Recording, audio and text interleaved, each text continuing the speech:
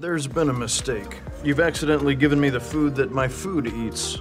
There are so many things we do that become so routine that we often forget there's an easier way. So, are you ready for 10 things you never realized you were doing wrong with food? Burger balance. This taste is delicious as Beyonce smells. Burgers are a classic dish that many people love. There are so many varieties of burgers that you can never get tired of them. But don't you just hate it when you're eating a burger and half of it falls out of the bun? And it's usually all the good stuff. But did you know that you've been eating your burger wrong all these years? How is it possible to eat a burger wrong? In order to make sure the contents of your burger don't spill out all over your plate, there's a technique you can use to keep your burger all together. When holding your burger, place your thumb and pinky on the bottom and your pointer, middle, and ring finger on top. By doing this, you're supporting the base of your burger and adding a backstop to keep everything in, allowing you to enjoy every last bite. Mmm, I love this burger, so delicious. The next tip is to make sure you don't squeeze your burger too tight. You can now order the biggest burger and be able to keep all the good stuff in the bun so you can have the perfect bite every time. Creamy hot chocolate. Another hot chocolate? How many more of those are you going to drink? At least it's warm, unlike you! Hot chocolate is perfect for those cold days when all you want to do is snuggle up and enjoy a sweet, warm beverage. Do you remember those winter nights after coming home and wanting a comforting beverage to warm you up? Hot chocolate is so simple to make and it's perfect to enjoy with those you love. Did you know that you've been making your hot chocolate wrong all these years? Making a hot chocolate is so simple. How could anybody be making it wrong? Honestly, there is no wrong way of making a hot chocolate, but if you're wanting a simple way to make it even better, then you'll want to check this out. Many people often use water to make their hot chocolate, but if you're wanting to make your drink extra chocolatey and creamy, then use warm milk to mix it with. Can you please pass the milk? The milk enhances the flavor of the chocolate instead of watering it down. Simply put a cup of milk in the microwave or boil it on the stove, add it to your chocolate mix, and then you have made yourself the perfect hot chocolate. Are you ready to try the extra creamy hot chocolate? This is one simple step that is sure to change the way you make your hot chocolate. Don't forget those marshmallows. They're pretty much a standard requirement for a hot chocolate. Once you try making your hot chocolate with milk, you will You'll never want to go back to just water ever again. Reheating leftovers. Food, not food, superfood, poison. A fresh cooked meal is always super tasty, but oftentimes we have a little too much left over and want to save it for another day. Reheating your food is good, but it's never the same as eating it fresh. Oftentimes, we end up wasting the food and don't even eat the leftovers because it's never as good. Everyone always thinks to themselves that it's an easy dinner for the next day, but in reality, people choose to eat something else because we crave that freshness. How can we reheat our leftovers in the microwave without drying it out or being overcooked? Do not fear, a solution is here. Place your food and a cup of water in the microwave and reheat together. The water absorbs the radiation, which helps prevent your food from being overcooked. I don't want you to feel like you have to eat here, especially if you already ate some crappy overcooked pasta. Overcooking your meal is the worst because it's never as good as the day before. Putting a cup of water in the microwave while reheating your meal also releases some steam, which helps prevent your food from drying out. You will never have to dread a leftover day again. This trick will allow you to enjoy your fresh cooked meal over and over again. McDonald's fries. French fried potatoes? Yep, French fries. McDonald's is the biggest name in the fast food business. The Golden Arches are a standout logo that you can always spot while driving in any city. Even though they are well known for their burgers, McDonald's has some of the best fries in the world. Their fries are so good, but eating them on the go can be a little tricky when you want to enjoy them with some ketchup. Then there's the great ketchup debate of dunking your fries in the ketchup or pouring ketchup all over your fries. Which do you prefer? Many people often often eat McDonald's on the go, so most people choose to find a way to dip their fries. This is often a challenge, but lucky for us, McDonald's has been inventive with their packaging, and they have provided the perfect solution to our challenge. I want to see solutions, gentlemen, solutions. You can actually use the french fry box to hold your ketchup without having to pour it all over your fries. All you have to do is take the curved back part of the french fry packaging and bend it backwards. Once you have a platform created, you can put your ketchup on there and voila! You have officially created the perfect platform to hold your condiments. Thank you, McDonald's, for having a creative solution for french fry loving customers on the go. Goodbye, messy fingers, and hello, ingenuity. Non shrinking bacon. Then I wake up to the smell of crackling bacon. Mmm, bacon. Do you remember those days you would wake up to someone cooking bacon for breakfast? You slowly wake up and you know that you're going to have a great day because you are going to have a delicious breakfast. But did you ever notice that when you cook bacon, it shrinks down so low that you hardly have anything left? Cooking bacon on the stove reduces the size of the strip, and it makes you wonder where it went. Luckily, there's a trick to help with this dilemma so you never have to have your bacon completely shrink again. Instead of cooking your bacon on the stove, lay your bacon on a cookie sheet and bake it in the oven. This will keep the moisture, which will prevent it from shrinking. New Baconings is perfect. It's hilarious.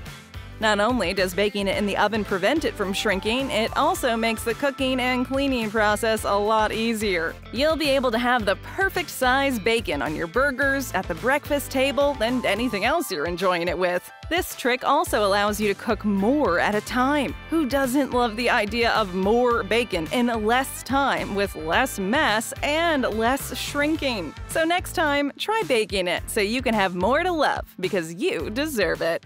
Oreo Dunk. There's only one cookie with something in the middle that solves life's problems, and that's an Oreo. Close your eyes and imagine the perfect Oreo cookie. The outer chocolate cookie filled with the iconic sweet cream filling is the perfect cookie sandwich combo. To make this treat even better, many will dunk it in a glass of milk. We all know that cookies and milk were meant to be paired together. They're the perfect complement to each other and enhance both the flavor and the experience. The fun about this is the creativity you get to have when dunking the cookie into the milk.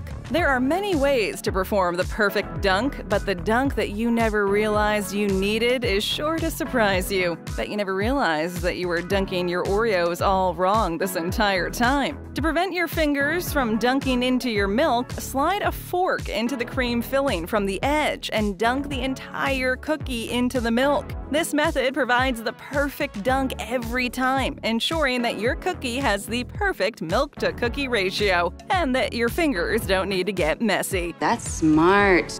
However, the big question that everyone has on their mind is how long do I dunk my Oreo cookie for? Well, you're in luck because we have the answer. The perfect Oreo dunk should last for three seconds. If you want to have fun with it, test it out with your family and friends and see what your favorite dunking method is.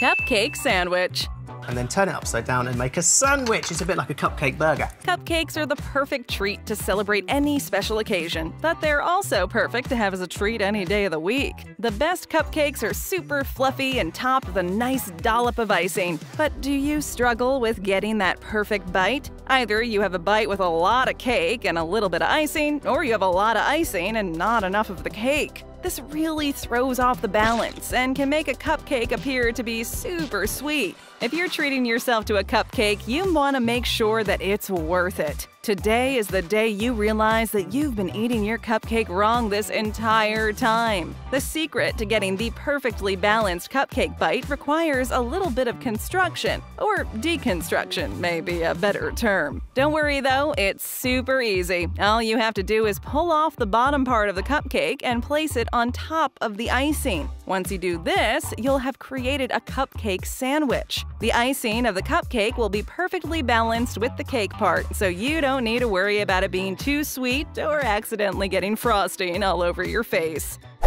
Strawberry tops. But the baby likes strawberry, so now I like strawberry.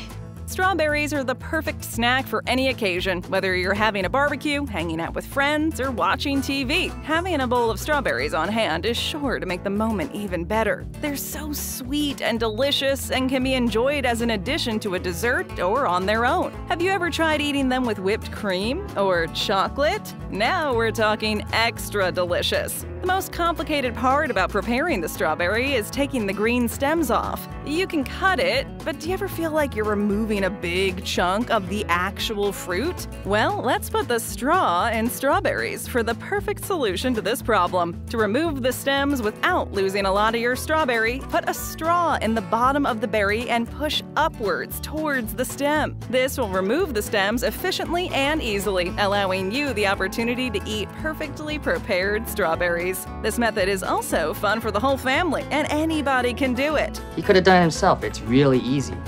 Snacking should be fun and easy, and this hack is going to provide the solution to meet both of those needs. Pancake scoops. What's gross about pancakes with butter and maple syrup? You've completely abandoned the pancake part. Now you're just eating butter with syrup on it. We can all agree that eating fluffy pancakes for breakfast is the perfect way to start the day. There's something so comforting about them when even simple toppings like butter and syrup can make something so amazing taste even better. The only downfall is that it feels like making pancakes can be super messy. It seems like no matter what you do, you get pancake batter all over the place, which makes for messy pancakes and a complicated cleanup. Let's be real, who wants a messy cleanup first thing in the morning? Nobody. Nobody. If you're ready to skip the mess and make more pancakes, then get yourself an ice cream scoop. Ice cream scoops aren't just for ice cream anymore. This versatile tool can be used in many different ways. An ice cream scoop holds the perfect amount of batter and helps you create a mess-free space. All you have to do is make your batter and scoop the perfect amount of pancake batter into your pan. Spend less time cleaning and more time making the perfect round and fluffy pancakes because you deserve it. Hot dog toppings. Hey kid, have a chili dog on the house. Are you planning on enjoying some delicious hot dogs this barbecue season? There's no greater feeling than gathering with friends and family and enjoying some food, drinks, and great company. What do you usually put on your hot dogs? Ketchup, mustard, relish, chips? If you really want to impress your guests, show them that they've been preparing their hot dogs wrong this entire time. How could that be? We all have our favorite combination of toppings on our hot dogs, and this lesson will help you keep more of it on your hot dog and less on your clothes. There's nothing worse than having a ketchup stain on your nice clean shirt. Oh, chili dog got me. Take all of your favorite toppings and put it on your bun before you add the hot dog. This technique will make sure you get a perfect bite of a hot dog every time. It also makes it less messy and easy to prepare. So the next time you eat a hot dog, try preparing it like this. You can thank us later. Stick around, we've got more awesome videos just for you, so check it out and just tap or click. Thanks.